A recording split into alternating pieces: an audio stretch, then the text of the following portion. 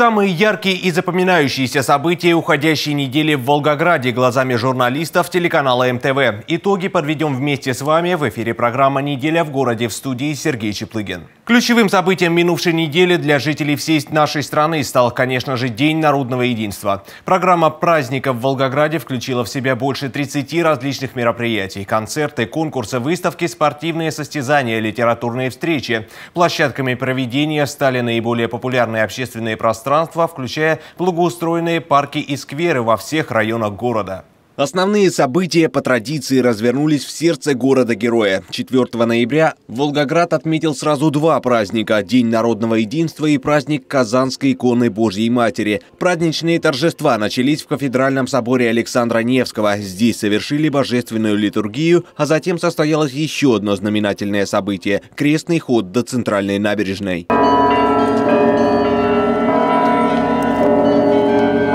Участие приняли сотни волгоградцев разных возрастов, представители общественных объединений и органов власти. На сцене Центральной набережной с праздником волгоградцев и гостей города-героя поздравил митрополит Волгоградский и Камышинский Феодор и муфтий Волгоградской области при Центральном духовном управлении мусульман России Ильяс Бектимиров. Продолжением праздничной программы стал яркий концерт. Его участники – творческие национальные танцевальные и вокальные коллективы. Сегодня, как прежде, своих не бросай.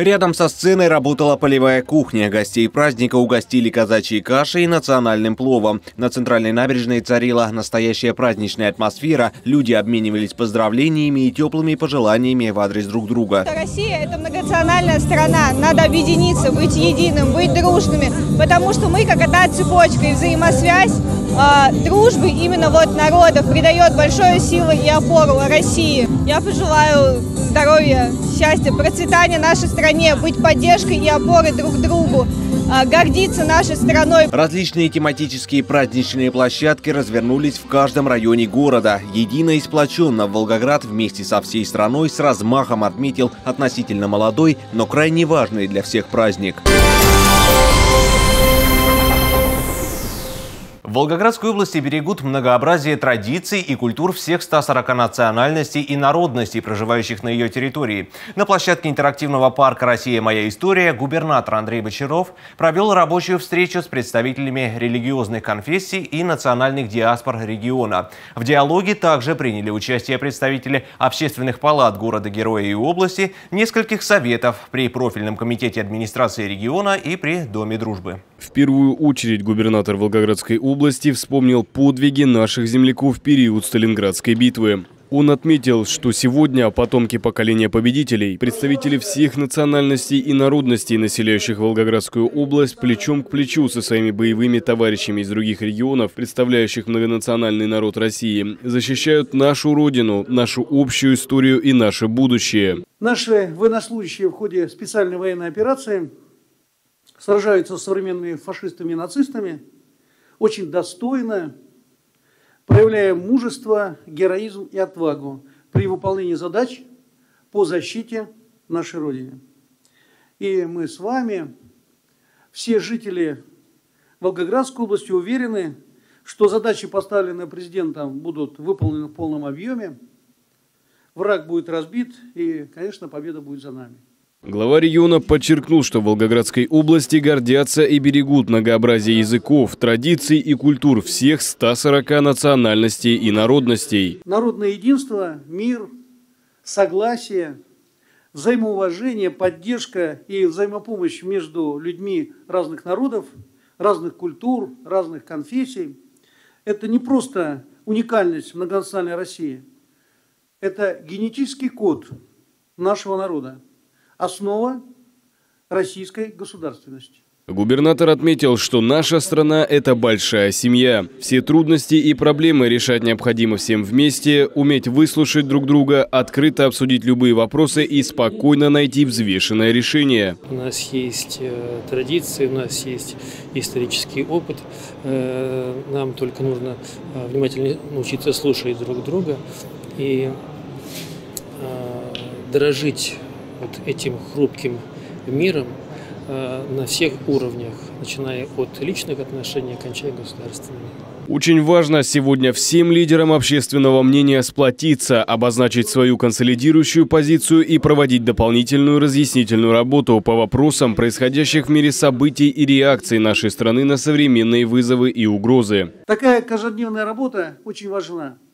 Ведь мы один народ, у нас одна Родина, и мы все несем общую ответственность за ее благополучие, безопасность и развитие.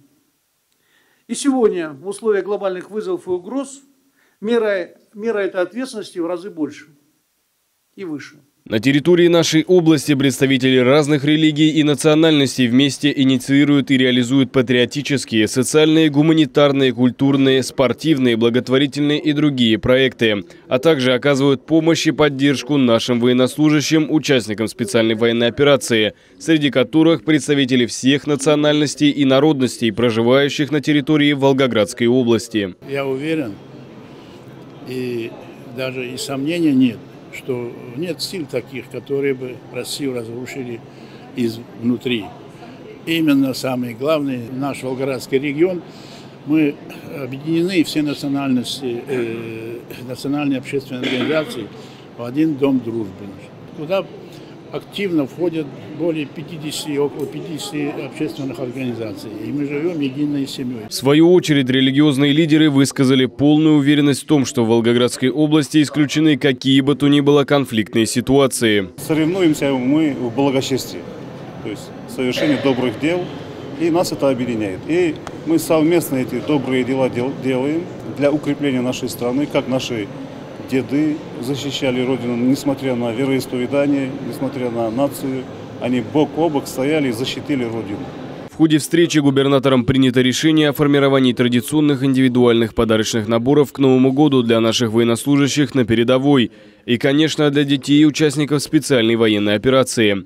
Участников собрания призвал активно присоединяться к этой идее. Еще одним историческим событием запомнилась уходящая неделя для жителей региона и города-героя. В Волгоградской области запустили первый в ЮФО комплекс по сжижению природного газа. В торжественном пуске предприятия в работу на площадке 12-го Петербургского международного газового форума приняли участие губернатор Андрей Бочаров, председатель правления «Газпрома» Алексей Миллер и генеральный директор «Газпром Гелий Сервис» Любовь Бриш. Первый в ЮФО малотоннажный СПГ-комплекс создан в кратчайшие сроки за рекордные 7 месяцев.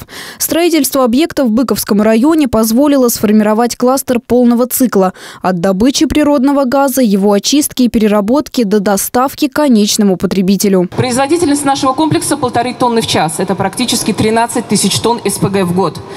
На нашем объекте нет иностранных лицензиаров. Наш объект полностью спроектирован российскими инженерами. Более 70% оборудования произведено на территории Российской Федерации. Реализация флагманского первого на юге России проекта по сжижению природного газа позволит укрепить промышленно-производственный потенциал Волгоградской области и даст новые возможности для развития на десятилетия вперед. В рамках реализации программы развития Волгоградской области, десятилетней программы развития города-героя Волгограда, нами принято решение по обновлению, масштабному обновлению подвижного состава общественного транспорта и всей коммунальной техники с переводом всей нашей техники на газомоторное топливо. Программа реализуется в четком соответствии с нашими договоренностями и планами. Для городских маршрутов уже приобретены 60 автобусов большого класса на сжиженном природном газе. Заправка транспорта организована на площадке автопарка. Алексей Миллер поблагодарил Андрея Бочарова за поддержку проекта СПГ-комплекса на всех этапах реализации и отметил высокую планку региона в реализации отраслевых задач. На сегодня Волгоградская область достигла 92% газификации. Мы знаем предыдущие опыты работы, и мы видим, каких результатов за относительно короткий срок вашей работы губернатором достигла область. Мы это очень высоко ценим. Почему? Потому что то, что сказал губернатор, какие обязательства на себя взяла область, все будет выполнено в срок и качественно. Андрей Бочаров отметил, достичь таких результатов в развитии газотранспортной системы, газификации населенных пунктов стало возможным благодаря четкому взаимодействию региона между «Газпромом» и его структурными подразделениями. Задачи, которые поставил президент, которые мы, Алексей Борисович, вместе с вами обсуждали на нашей встрече, да, будут выполнены в полном объеме. И в ближайшие 4-5 года, 5 лет Волгоградская область будет полностью газифицирована. Хочу сказать огромное спасибо да, тем, кто принимал участие непосредственно в создании нашего современного комплекса, первого на юге России по сжижению природного газа. Это и проектировщики, и строители, руководители проекта. В 2023 году в регионе продолжается реализация еще 27 масштабных промышленных проектов на сумму около 70 миллиардов рублей. Укрепление промышленного потенциала в приоритете направлений развития Волгоградской области.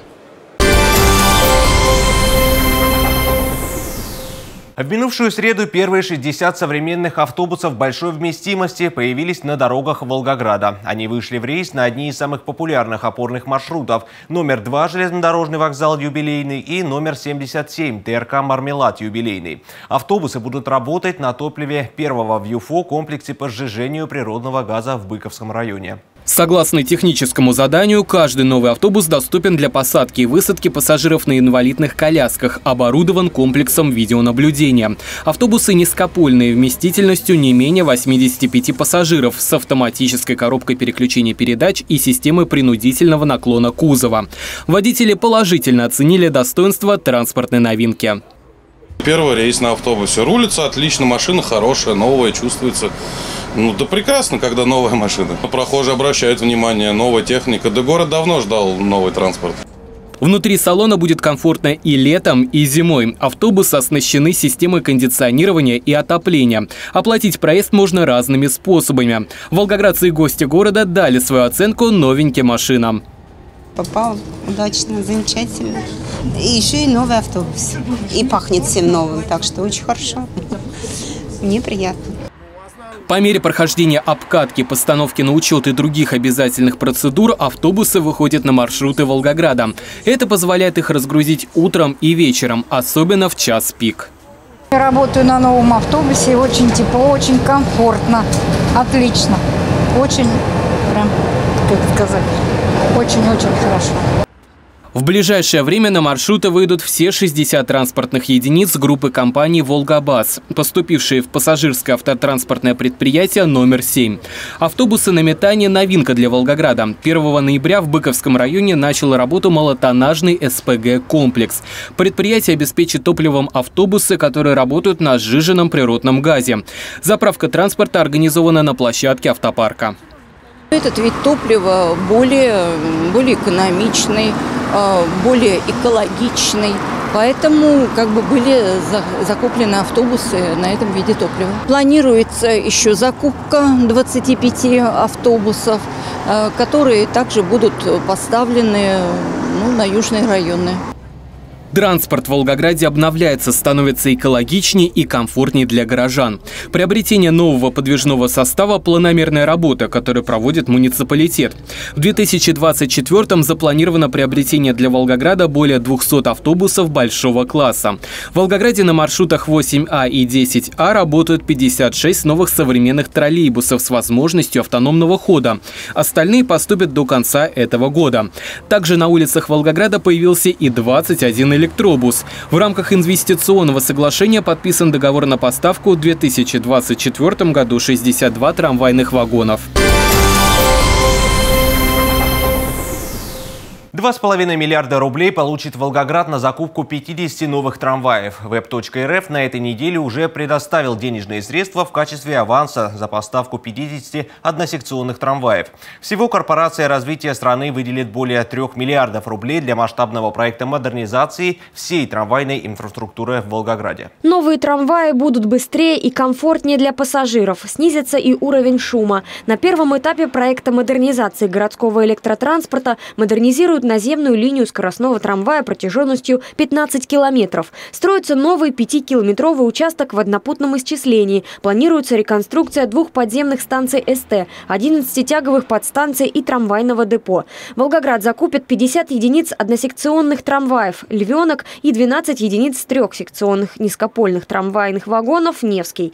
Волгоградский метротрам единственный в стране. Проект развития городского электротранспорта в областной столице при поддержке ВЭБ РФ был поддержан правительством Российской Федерации. Корпорация развития выполняет роль финансирующей организации проектного офиса, программы и ее координатора. Согласно трехстороннему инвестсоглашению между муниципалитетом, администрацией области и Электротранспорт Плюс в течение пяти лет инвестор проведет реконструкцию наземной части линии СТ от улицы Землянская до улицы Михайлова. Будут приобретены 62 новых трамвайных вагона. В Волгограде идет активная масштабная модернизация системы городского электротранспорта. Автопарк пополнили 21 современный электробус. В октябре 2023 года парк электробусов вместе с губернатором Волгоградской области и главой Волгограда осмотрел заместитель председателя правительства России Дмитрий Григоренко. Вице-премьер высоко оценил достижения региона в реализации федеральной программы. С 1 ноября в рейс на одни из самых популярных опорных маршрутов в южные районы Волгограда вышли 60 новых современных низкопольных автобусов большой вместимости на сжиженном природном газе. Согласно Согласно техническому заданию, каждый новый автобус доступен для посадки и высадки пассажиров на инвалидных колясках. Волгоградский робот-коммунальщик стал призером всероссийского конкурса. Разработка, которую используют специалисты МБУ «Северная», заняла второе место в номинации конкурса проектов региональной и муниципальной информатизации проф-IT управления территорией. Уже больше года беспилотник помогает волгоградским специалистам в обслуживании самых сложных участков ливневой канализации. На уходящей неделе понаблюдать за работой техники на проспекте Жукова в Дзержинском районе смогла и наша съемочная группа. Эта труба достаточно хорошая, в хорошем состоянии. Ну, есть небольшие засоры, но это не критично. Мастер коммунального учреждения МБУ «Северная» Максим Моисеенко работает с таким необычным коллегой уже год. Общий язык, смеется, нашли сразу. Робот непривередливый, работает и в жару, и в холод. И очень полезный, помогает специалистам обследовать трубопроводы там, куда человеку не попасть. Труба длинная, допустим, участок, если 50 метров глазами не увидишь, и проползти, пройти по нему, это ну, не представляет возможности. А с ним, естественно, все видно. Помогает он, конечно, здорово обнаруживать участки повреждения труб, засоры выявлять, чтобы дальнейшей прочистки за время эксплуатации робота-телепомощника коммунальщикам удалось обследовать весь центральный район областной столицы и трубы, проведенные КЛОСом. Система передвигается по ливневке и передает все, что видит на экран. Мощная камера с широким углом обзора вращается на 360 градусов, увеличивает и приближает изображение и позволяет оценить состояние трубопроводов, выявляя участки, требующие ремонта или очистки. После обнаружения засора приезжает бригада по прочистке. Это КОшки и лососы. Прочищаем этот кусок, пробиваем. Если уже какие-то там дефекты с трубой именно, то это мы уже сообщаем в дальнейшем. Принимается там руководство решения а по, восстанов... по восстановлению или по ремонту, замене куска труба, трубы. Робот-коммунальщик помогает специалистам и в контроле качества при строительстве новых инженерных сетей. Проект муниципалитета «Телеинспекция трубопроводов» с использованием робототехнических комплексов стал финалистом и призером 11-го Всероссийского конкурса проектов региональной и муниципальной информатизации «Профит». Волгоградскую практику применения техники высоко оценили эксперты конкурса. Тем временем робот, у которого, кстати, пока еще нет имени, ежедневно продолжает трудиться на благо родного города – чтобы коммунальных аварий было как можно меньше и коммуникации работали исправно. Волгограде практически бабье лето, но специалисты дорожных служб уже завершают подготовку к предстоящему зимнему сезону. На базе МБУ «Северная» заготовили большой запас реагентов для противогололедной обработки дорожного покрытия и тротуаров. Объема песко-соляной смеси хватит для эффективной работы в условиях длительного снегопада и частого перепада температур. Жители Волгограда наслаждаются теплыми деньками после проливных дождей, мокрого снега и сильных ветров. Синоптики обещают редкие для конца октября плюсовые дневные температуры и солнышко, но природу не обмануть. Придут и холода, и первые снега. Специалисты МБУ «Северная» к погодным катаклизмам готовы. Предприятие обслуживает четыре района Волгограда. Конкретно эта база Краснооктябрьский и Тракторозаводский. Брали соль и песок машины привозили. Здесь вот 20-процентная лежит смесь, пескосмесь а там 50-процентная. К зиме сотрудники муниципального предприятия готовятся заранее. Основное внимание – формированию запасов противогололедных материалов.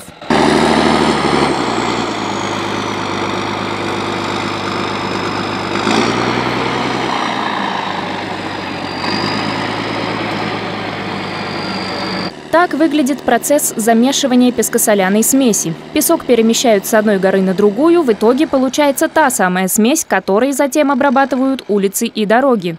Пескосоляной смеси сейчас у нас на базе порядка 25 тысяч тонн для двух районов. Э, вообще э, на два района, на Краснооктябрьский тракторозаводский район Волгограда, необходимо порядка 17 тысяч тонн. То есть у нас как бы уже э, излишек есть, э, который э, образовался вследствие того, что была очень теплая зима прошлого года. Какая зима будет в этом году, мы не знаем. Но мы готовы во всеоружии к зимнему сезону 23-24 года.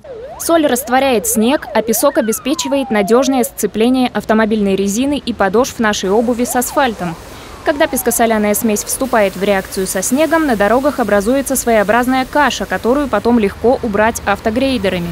В случае первых снегопадов спецтехника оперативно выйдет на свои маршруты и обработает реагентом наиболее сложные участки – спуски, подъемы, крутые повороты, разворотные кольца общественного транспорта. В последние годы в Волгограде свою эффективность доказало использование двух видов реагентов – твердых пескосоляной смеси и жидких – раствора на основе бишофита.